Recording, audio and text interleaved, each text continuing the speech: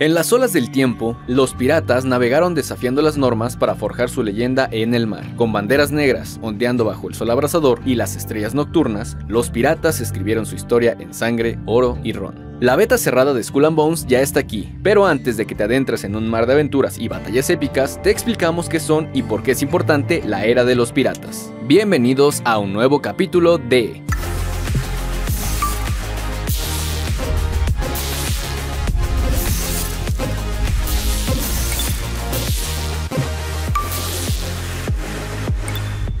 El comienzo de la piratería. La primera gran acción pirata se registró en 1522, cuando Jean Florin capturó, a la altura de las Islas Azores, el tesoro del Tlatoani azteca Moctezuma II, enviado por Hernán Cortés desde México. El ciclo de la piratería francesa se había iniciado. Durante el siglo XVI, las guerras entre España, Francia e Inglaterra tuvieron un impacto en los mares americanos a través de la actividad de corsarios. Pero el mayor daño en los océanos, irónicamente, fue cuando el Tratado de Paz entre las naciones se llevó a cabo, dejando que muchos marinos y corsarios de los navíos se quedaran sin trabajo, por lo cual optaron por la piratería. Las principales ciudades del Caribe, que eran puertos de partida de las flotas de plata, sufrieron ataques frecuentes, que llevaron a la corona española a fortificar gradualmente sus posesiones y a establecer el sistema de galeones y flotas en 1561. A partir de la segunda mitad del siglo XVII, corsarios y filibusteros, nombre que recibía aquel pirata que, en el siglo XVI, no se alejaba de la costa, bordeaban y saqueaban las localidades costeras, tomaron control de las islas en el Caribe y España perdió territorio. Destacó la toma de Panamá en 1671 y la transformación de islas como Tortuga, Jamaica y Curazao en bases de ataque y contrabando. La colaboración de filibusteros como Henry Morgan y otros fue esencial para intereses coloniales europeos. Edad de Oro.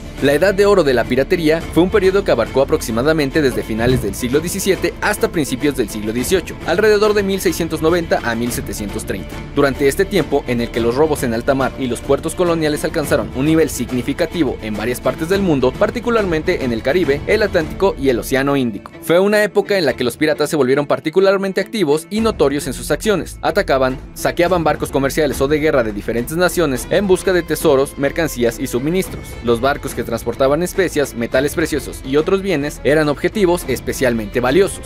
Dichos saqueos muchas veces dejaban bajas en la tripulación y daños severos a los barcos, por lo cual los piratas establecieron bases o refugios en islas remotas y regiones costeras, como las Bahamas, Tortuga, Nassau y Port Royal. Estas bases les proporcionaban lugares seguros para reparar barcos, abastecerse y dividir el botín.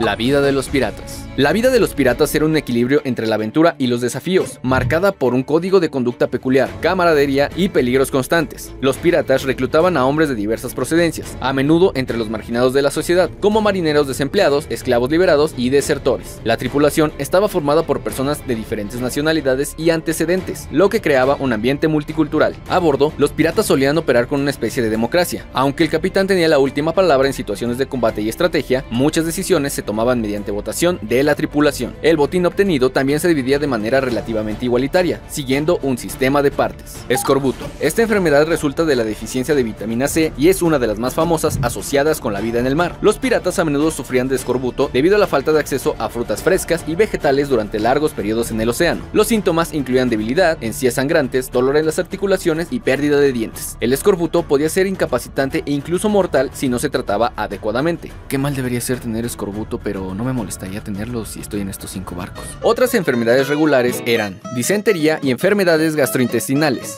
fiebre amarilla y malaria, parásitos y enfermedades relacionadas con la higiene, enfermedades respiratorias, viruela y otras enfermedades contagiosas. Piratas famosos en la historia. La historia de la piratería está repleta de personajes legendarios que han dejado una marca indeleble en la imaginación colectiva. Estos hombres y mujeres intrépidos desafiaron las convenciones sociales y desataron el caos en los mares, persiguiendo la libertad, el saqueo y la aventura en una época de navegación incierta y desafíos constantes. A través de las páginas del tiempo, sus nombres y hazañas han perdurado, evocando imágenes de banderas negras ondeando al viento. Barba Negra, Edward Teach o Touch, uno de los piratas más icónicos, Barba Negra, operó en el Caribe y la costa este de América del Norte en el siglo XVIII. Es famoso por su apariencia aterradora, con barbas y mechas encendidas en su sombrero. Barba Negra era conocido por su habilidad estratégica y su capacidad para aterrorizar a sus enemigos. Se cree que usaba mechas encendidas en su barba y bajo su sombrero durante los combates para crear una imagen aterradora de sí mismo. Esto contribuyó a su reputación de ser uno de los piratas más feroces y sanguinarios. Anne Bonny y Mary Read A comienzos del siglo XVIII, las piratas Anne Bonny y Mary Read navegaban por los océanos bajo la insignia de la calavera, saqueando navíos y luchando como miembros de la tripulación del capitán Jack Rackham.